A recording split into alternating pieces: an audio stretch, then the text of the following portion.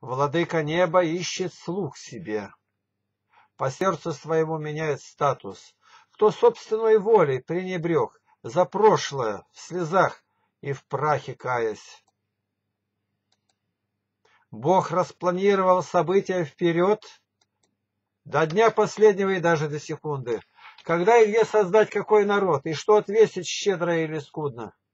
И волю Божию сподобься познавать, в нее вписаться что-то разумея. Когда созижется или сгорит Москва, совокупиться с семиглавым змеем. Бог ищет исполнителей послушных, внимающих его святым глаголом. Таких обед лишь на лафете пушки, с седлом под головой почти что голый.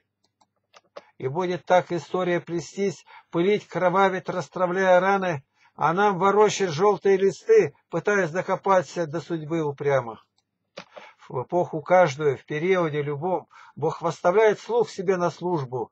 Такой преграды расшибает лбом и рвется к цели, хоть обстановка хуже.